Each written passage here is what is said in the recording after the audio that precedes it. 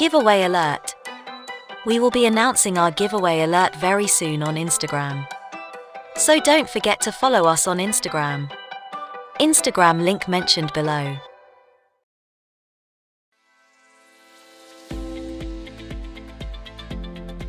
Good news for international students.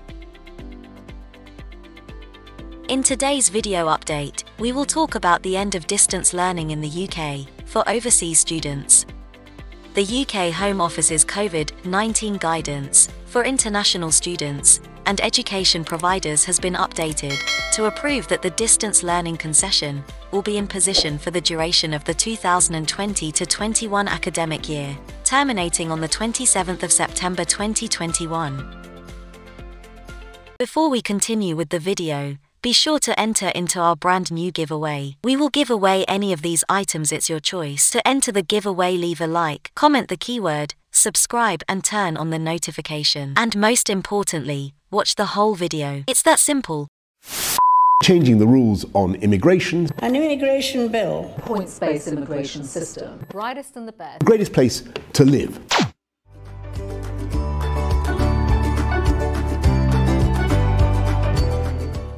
International students will still be able to get sponsorship to begin a course of study by means of distance or blended learning on condition that they plan to shift to face to face learning from the 27th of September 2021. The latest guidance further mentions that new international students who have not so far applied for permission to come to the UK as a student or child student and who plan to study on a course which will be entirely completed out of the UK via distance learning will not be obligated to travel to the UK and will not consequently be required to get a visa. They will be able to commence the relevant distance learning course from outside the UK.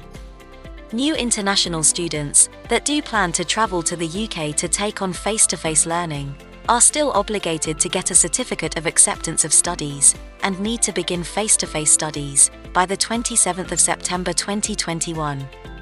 The course commence date on the certificate of acceptance of studies can be either the commencing date on which the course begins by distance learning or the date on which the face to face learning will commence.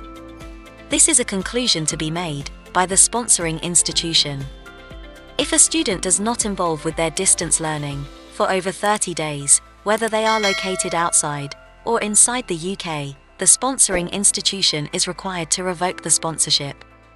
As a result, it stays vital for students to carry on engaging with their course of study, as would be assumed if they were attending face to face tuition. The last date to terminate distance learning may present a problem for those students who are registered on a course of study, but who may not be able to enter the UK by the 27th of September 2021 because of the COVID 19 pandemic. Flight restrictions and border closings remain widespread, and many countries carry on to face harsh exertions because of the COVID 19 pandemic. Bearing this in mind, it is not clear whether sponsoring institutions will be able to shift those students who are not able to come to the UK by the 27th of September 2021 to a distance learning course, at the same time keeping their student visa, in the event they are able to afterwards travel to the UK, in light of the circumstances that sponsored students are not generally allowed to commence distance learning courses.